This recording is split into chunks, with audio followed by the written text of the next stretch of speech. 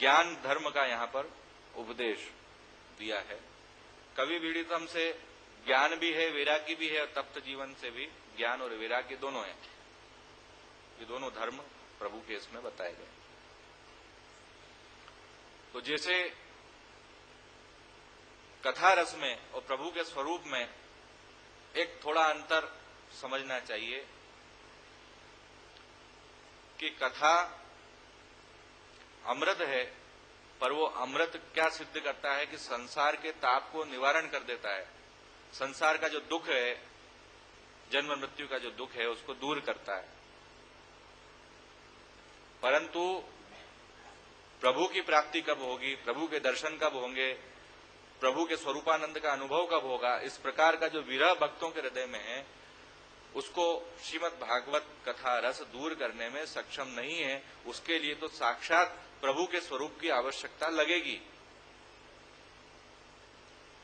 तो कथा और प्रभु के स्वरूप में इतना अंतर बताया कि स्वरूप से विरह दूर होएगा और कथा से संसार का दुख वो दूर होएगा।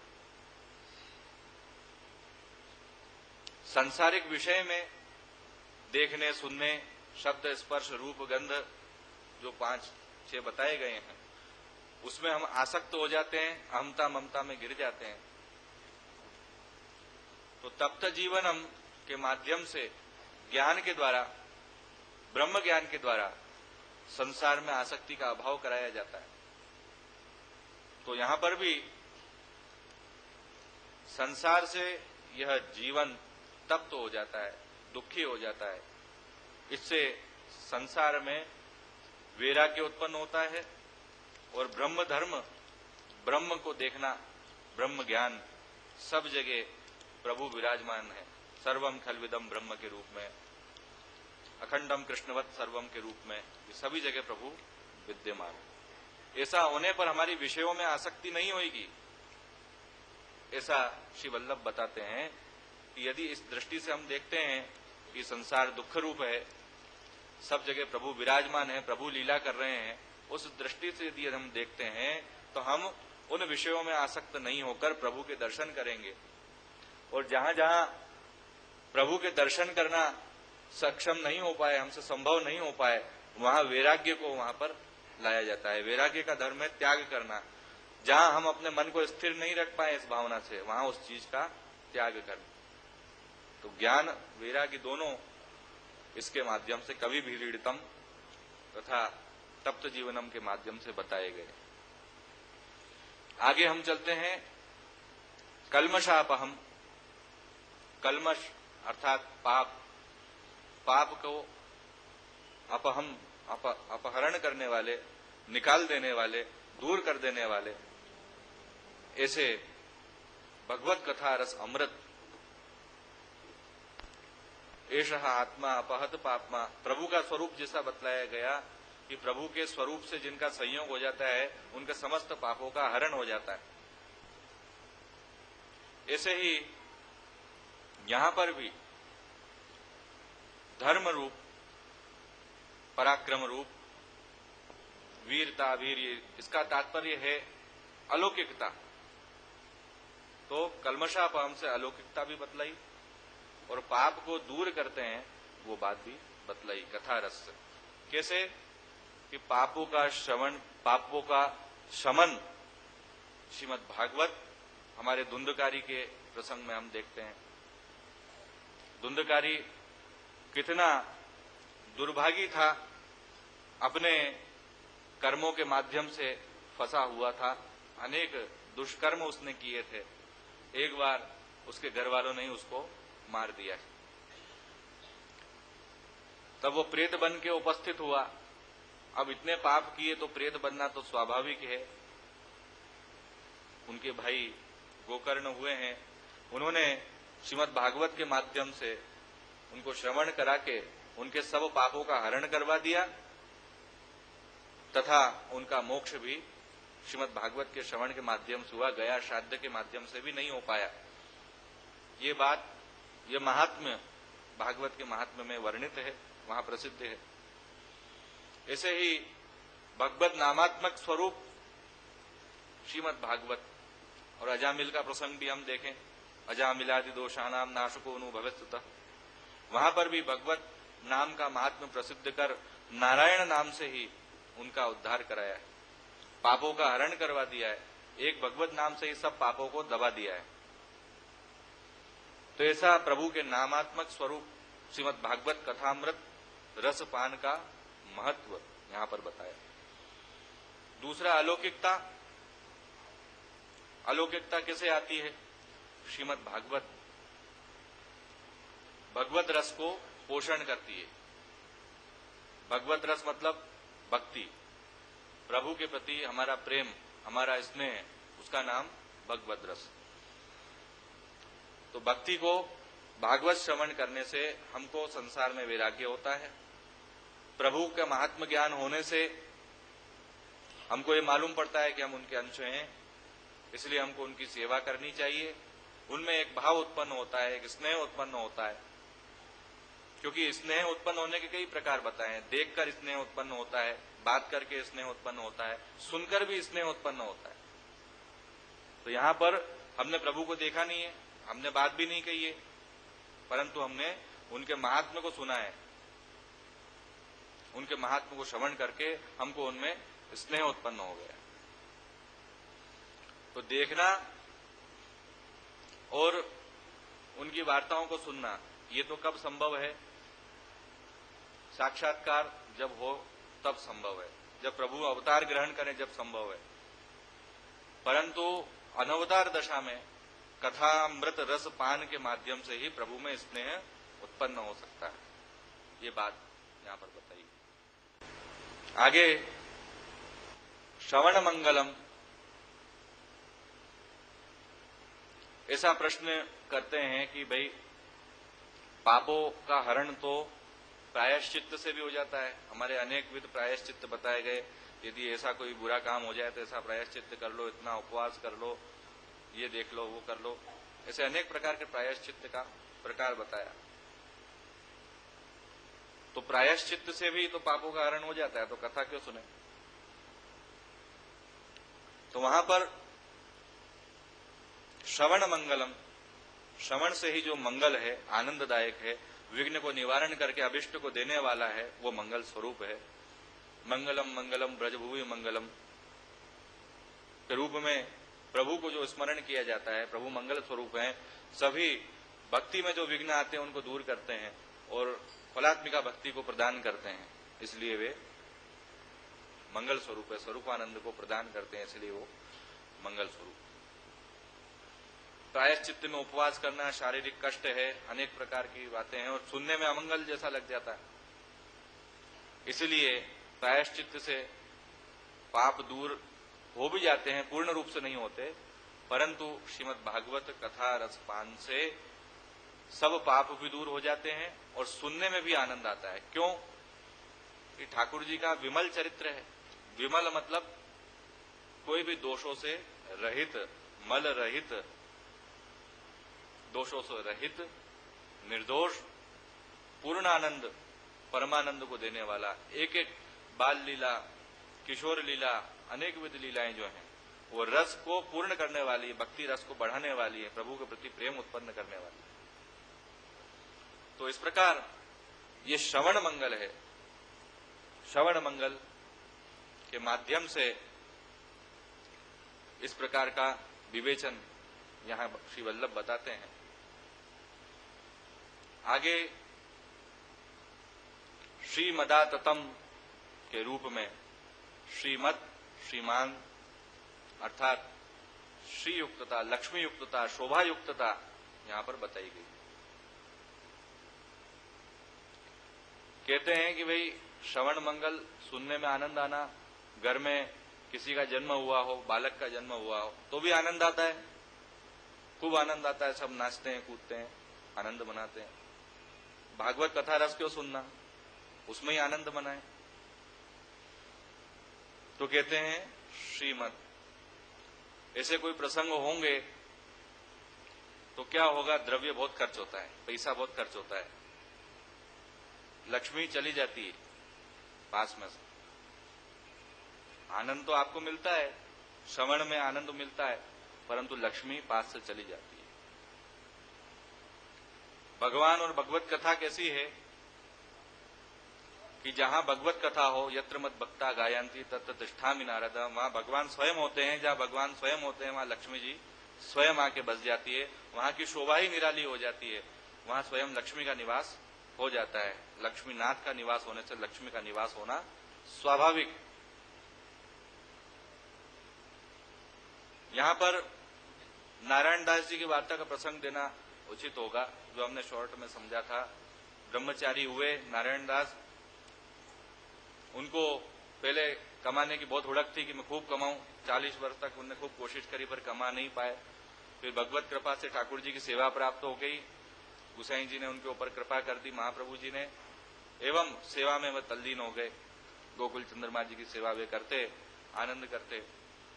अब उनके मन में वैराग्य और संतोष उत्पन्न हो गया कि द्रव्य से मुझको कोई लेना देना नहीं। ठाकुर जी की सेवा ही, ठाकुर जी परम धन है। यह धर्म धन ही तो यह धन धर्म ही ते पायो, जो हमारे पद में बताया गया है। तो धन रूप प्रभु श्री कृष्ण स्वयं है, अर्थ हमारे प्रभु श्री कृष्ण स्वयं है। वो भाव, वो सिद्धांत उनको सिद्ध हो गया। इतना संतोष होने के बाद में, अब इस प्रकार की गतिविधि उनके यहाँ होने लगी कि उनको द्रव्य जहाँ तहां द्रव्य उनको मिलने लगा। जहाँ वो बैठते वहाँ द्रव्य निकल जाता। साधारण व्यक्ति होता तो मोहित होकर वो द्रव्य को, पैसे को ले लेता, इकट्ठा कर लेता कि मैं द्रव्य पात्र बन जाऊँगा, पैसे वाला बन जाऊँगा अच्छा मकान का। सब व्यवस्था अच्छी हो जाएगी परंतु उनमें मन में संतोष रखा है और कहा है कि ये तो विष्ठा समान है, मेरे लिए उपयोगी नहीं है, ठाकुर जी की सेवा में उपयोगी नहीं।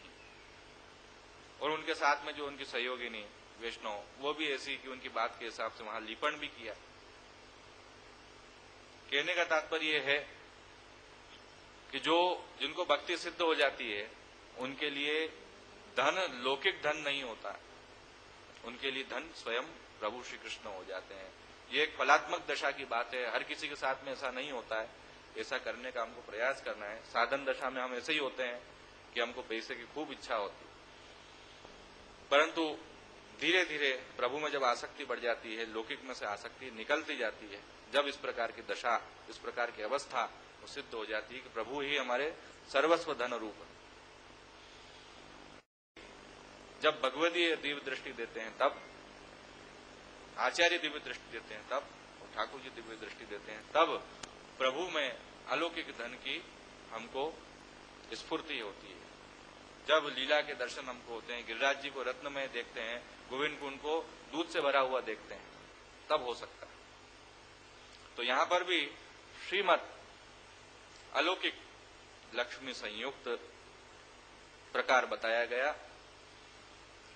कहते हैं कि भाई, चलो, पैसे की बात आप कर रहे हो तो जो राजा लोग हैं, अथवा जो राजनीतिक लोग हैं, उनके पास में तो खूब पैसा होता है। तो क्यों कथा को सुने? इसी प्रकार की राजनीतिक राज्य शासन, उसमें ही हम आनंद लेवें।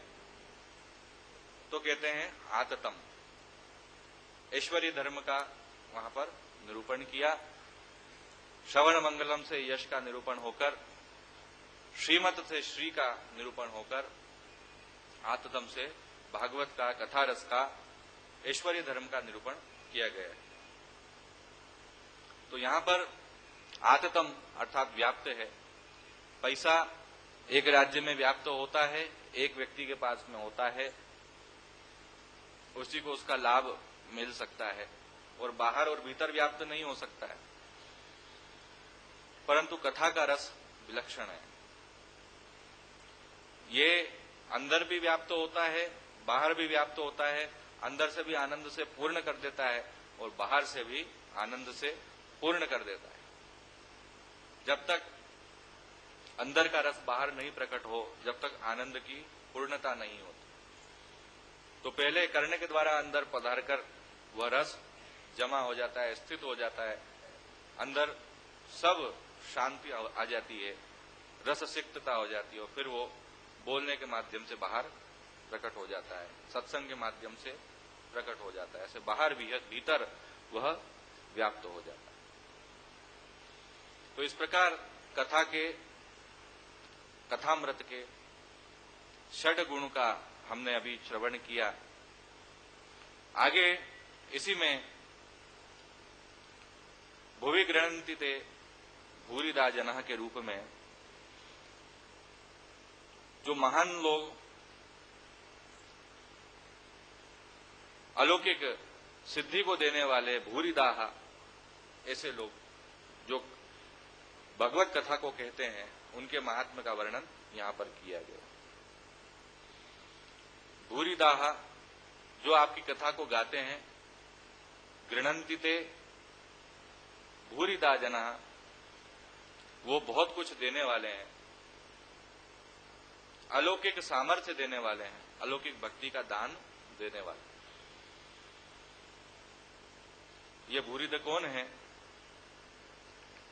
हमारे यहाँ श्री वल्लभ, श्री भागवत का रस मंथन के माध्यम से नवनीत प्रभु श्री कृष्ण की सेवा, स्वरूपानंद का लाभ ये प्रदान किया है। तो भूरिद बहुत कुछ देने वाले, अर्थात बहुत कुछ क्या है भक्तों के लिए? पैसा, समृद्धि, ये बहुत कुछ नहीं है। प्रभु की प्राप्ति होना, यही बहुत कुछ है। तो यहाँ पर बुरी दाह के रूप में शिवल्लभ को स्मरण करें, प्रभुदास जलोटा की वार्ता याद करें वहाँ पर प्रभु पधारे हैं शिवल्लभ पधारे हैं वृंदावन में राधा कुंड पर। सुबह जल्दी उठकर सब सामग्री सिद्ध हो गई है। स्वामी जी का स्थल है। वहाँ पर प्रभुदास जलोटा सुबह देरी से उठे हैं। श्री महाप्रभु जी सामग्री सिद्ध करके पधारे और कहा कि प्रसाद लेना चाहिए। वे कहते हैं कि मैंने अभी स्नान नहीं किए हैं। श्री महाप्रभु जी आज्ञा करते हैं कि वृंदावन का स्वरूप, ब्रज का स्वरूप उस समय उनको दर्शन कराते हैं। ऐसे भूरिद हैं, ऐसे बहुत कुछ देने वाले हैं, ऐसे भक्ति का दान करने वाले हैं, ऐसे प्रभु के स्वरूप को समझाने वाले हैं। वृक्षे वृक्षे, वेणुधारी, पत्रे पत्रे, चतुर्भुजा के रूप में, वृक्ष वृक्ष में प्रभु श्री कृष्ण विराजमान है। ऐसे ही पत्र पत्र में भी प्रभु विराजमान है। उसके दर्शन उनको कराए हैं। जहाँ चरणारविंद की रज विराजमान है, ब्रज रज विराजमान है, उससे जल श्रेष्ठ है और जल से रज श्रेष्ठ है तो जल से नहाओ, चाहे रज से नहाओ, जिससे भी स्नान करो, ऐसे ब्रज मंडल का महात्म्य वहाँ शिवल्लभ ने बताया। तो ऐसे भूरी भूरिदह बहुत कुछ देने वाले वे लोग हैं, जो कि भागवत कथामृत रस पान कराते हैं। यहाँ साक्षात प्रभु श्री कृष्ण हास्य अवतार श्री वल्लभ हैं जो कि हमको भक्ति का दान कर रहे हैं। इसलिए उनका अनुसंधान इसमें हमको करना चाहिए। भूरिदा अजना, ऐसा भी एक भाव प्रकट होता है कि जिनका जन्म नहीं हुआ है, ऐसे बहुत कुछ देने वाले अर्थात, अप्राकृत जन्म मृत्यु के भय से रहित, ऐसे श्री वल्लभ ऐसे मर्यादा मार्ग में देखा जाए तो वेद व्यास जी जिन्होंने श्रीमद भागवत को समाधिस्थ होकर प्रकट किया है। तो वे जन्म मृत्यु के भय से रहित हैं, अप्राकृत हैं, उनका आविर्भाव होता है, तिरोभाव होता है। आचार्य चरण ने अपने ग्रंथों में स्पष्ट किया है कि जैसे प्रभु श्री कृष्ण आविर्भाव होते हैं और अपने निज धाम में पधारते हैं, उनकी उत्पत्ति और प्रलय ये नहीं होता है। इसी प्रकार जो भक्त अवतार ग्रहण करते हैं, आचार्य अवतार ग्रहण करते हैं तो उनका भी आविर्भाव होता है। वो कर्म के बंधन के वश में नहीं होते हैं। वे किसी उद्देश्य को लेकर पधारते हैं और उस उद्देश्य की पूर्ति हो जाने पर भगवत आज्ञा होने पर पुनश्च स्वधाम पधार जाते हैं। तो उनमें लौकिक जन्म और मृत्यु की परिकल्पना नहीं होती। वहाँ केवल आसुर व्यामोह की बात बताई है। आसुरी लोग जो हैं, वो उनके स्वरूप को नहीं देख सकते, परंतु भक्त लोग अपने भक्ति रूपी अंतकरण से उनके स्वरूप को समझ सकते हैं। तो भूरीदा जना ये बहुत कुछ देने वाले जो लोग हैं, जो जन्म मृत्यु के भय से रहित हैं, ऐसे षट गुण युक्त श्रीमद भागवत के कथामृत से, हे प्रभु, हम जीवित हैं, आप हम पर कृपा करो, अमृत रथ का वर्षण करो, नहीं तो हमारा जीवन नहीं हो पाएगा। आपकी कथा तो आपसे भी बढ़कर है निष्कर्ष रूपेण ये गोपिकाएँ प्रभु से कहती हैं कि हमने ये देखा प्रभु कि आपकी कथा आपसे बढ़कर, कि आप सामने हो, फिर भी आप हमको जीवन दान नहीं दे रहे और आपकी कथा हमको जीवन दान दे रही परंतु फिर भी कथा और स्वरूप में जो हमने भेद समझा है तो कथा जो है, उसके अंदर किसी की सहायक की आवश्यकता रहती है। जब फल मिलता है, बोलने वाला है, सुनने वाला है, और जो स्वरूप है, उसमें कोई सहायक और किसी की आवश्यकता नहीं रहती। स्वतंत्र रूप से प्रभु से स्वरूपानंद का फल मिल जाता है। ये स्वरूप में और कथा में भेद है, स्वरूप की विशेषता है। ऐसे ही कथा के अंदर और स्वरूप के अंदर द्रवीभूत और घनीभूत का फ़र्क।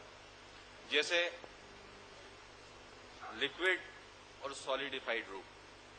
घनीभूत मतलब जो रस सब जगह फैला हुआ हो, उसको एक जगह कर दिया जाए और उसका आनंद लिया जाए। और द्रवीभूत मतलब वो द्रव के रूप में फैला हुआ है। तो कथा के अंदर जो रस है, वो द्रव के रूप में समस्त जगह प्रसरित है, फैला हुआ है। और प्रभु साक्षात घनीभूत रसात्मा स्वरूप है। वो स्वयं फलात्मक है, सब रस उनके अंदर एकत्रित होकर एक ही जगह स्थित। तो इसलिए यहाँ पर कथा और प्रभु इन दोनों में समानता, इन दोनों के अंदर जो डिफरेंस जो तारतम्य, उसका भी वर्णन हुआ है। उस माध्यम से कथा का महात्म्य कहती है कि कथा तो जीवन दान कर रही है और प्रभु, विरह की ताप से तो आप ही निवारण कर सकते हैं। इसलिए कृपा करके इस विरह का जो अग्नि हमारे हृदय में प्रज्वलित हो रही है, इसको आप दूर करें। कथा से तो केवल हमारा विरह से मरण नहीं हो रहा है, परंतु विरह का ताप तो आपके माध्यम से ही निवृत्त हो सकता है। अन्य कोई माध्यम से निवृत्त नहीं हो सकता।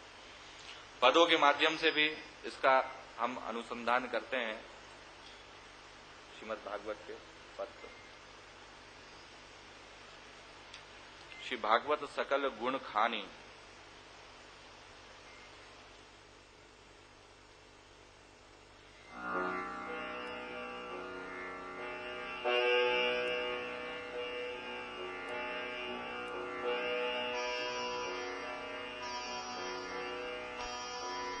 श्रीभाग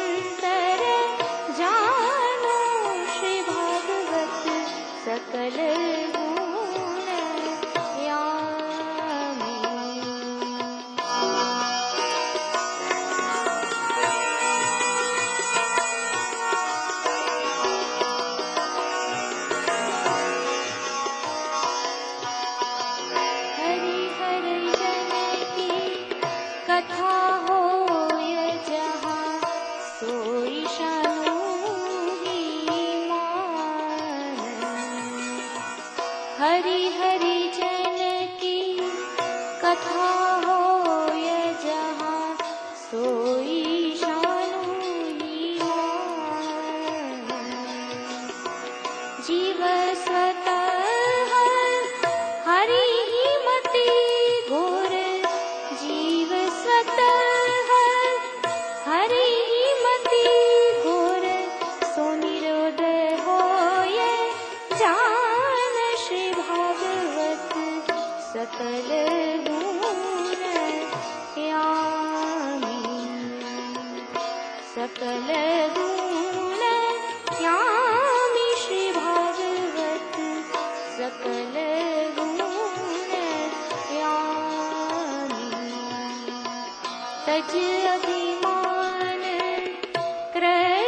पावे सोई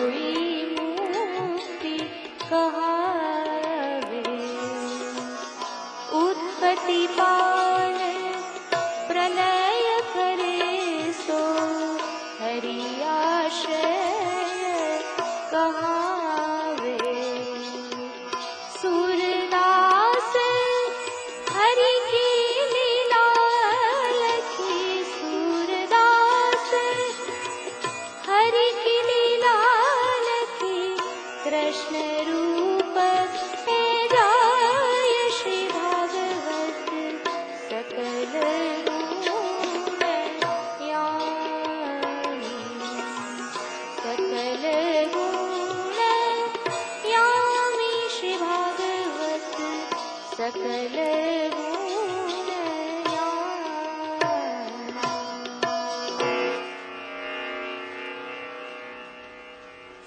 जी कथ श्रीमद भागवत के कथामृत, जो अमृत रूपी है, जीवन देने वाला है।